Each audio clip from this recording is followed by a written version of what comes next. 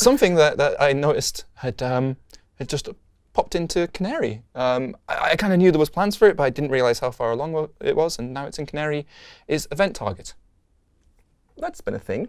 That has been a thing. So Event Target is the thing that gives us uh, add. It's a horrible name, by the way. I think event. Target. Yeah. Um, because like the thing makes event target makes a thing something that can emit events. Well, Node calls it event emitter, which is a better name, I agree. But yeah. event target has been with us for like many, many years. and uh, As so all we, the we, things on the web that are ill-named usually uh, are. Yes, so we can't change it now. But that's like everything uh, that has a add event listener inherits from uh, yeah. And the thing is, it's usually something that you only see in the in the specs. Like you said, you see like this new thing, it implements event target. Yes. And but it's not well, it actually extends. Or it extends, but yeah. you actually cannot extend it in your code. Until now.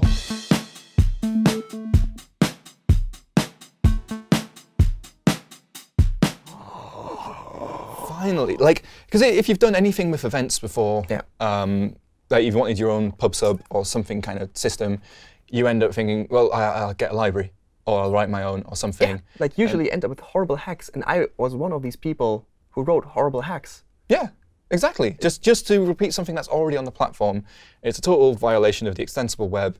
Yeah. Um, and so uh, people, I think it was Domenic Denicola, have uh, like got together and actually spec'd what the constructor looks like uh, and how you would extend it yeah. and how you would use it. And it's it's there now in, in Canary. You can do new oh, event target. so good. You can do class whatever extends event target. And now you have add event listener. Now you have uh, dispatch events. You've got the whole. Which are the, the only two thing. things you need. Right, exactly. Well, and this is the thing that there's this kind of long-term plan that at some point we'll uh, replace add event listener, or not replace it, we'll, we'll enhance it with observables. Yes, I've, I've seen the, the the current like I'm gonna call it a scratch pad because it's probably too early to call it even an explainer. Well, there's been loads, right? There's yeah. been loads of little, uh, yeah, lo loads of little ideas around this. But the, the kind of the, the central but agreement is that this should be how we do events. Things that can do events should also be able to do observables, which is a stream of events. Stream but be careful with that. R right. Yes. But this means that you can, uh, like, if everyone starts using event target now, you know, once we get the, the support across the board, it means when uh, observables support do land across the board support across the board. That's a good catchphrase. Is that another jingle that we need? No, Maybe. Probably, probably not. Yeah, but then, then when observables land, that that you know you'll get those for free as well. That would be really, really good. It's, it's one of those things that kind of seems.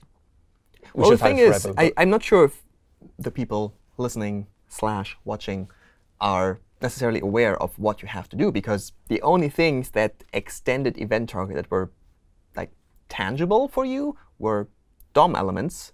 Yes. Or message ports.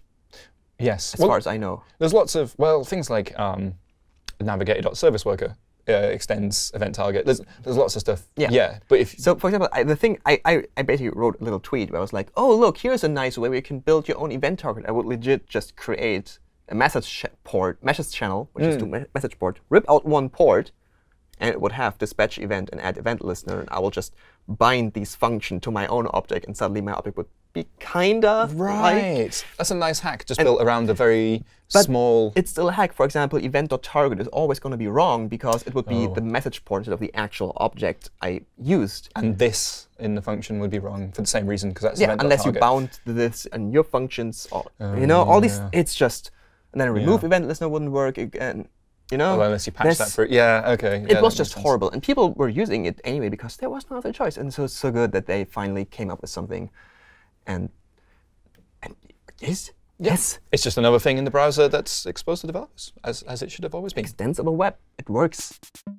Just so you know, we didn't just uh, Sema's head in this, so I'll just punch it in and hit it. Okay, that's not too bad. Great. Yeah, punch McMason.